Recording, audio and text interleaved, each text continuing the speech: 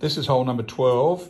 Just a monster of all par fours, 500 yard ocean up there, playing usually dead into the wind. I mean, you've got these bunkers here. You know, this is the hole that you want to hit your best drive on. Try to get down the middle. And then, you know, this is just a massive hole. It's over the backs, dead, pin, pin. Green sits up perched, but you know, in San Diego, 500 yards, that's, you know, 300 and 200. But with San Diego Air, you know, this is the hardest hole by a mile uh, on the golf course.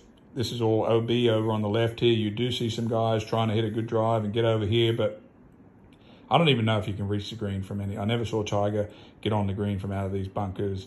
He would always play a fade. And, you know, we saw Tiger win a lot of tournaments. You know, he wasn't the greatest driver or he'd hit 50% when he won the US Open in 08. But, you, you know, the question this week is going to be, can these really big hitters get up here further into the rough and can they get it on? And it seems like the USGA said, we're going to, we're going to let you have a shot at the green.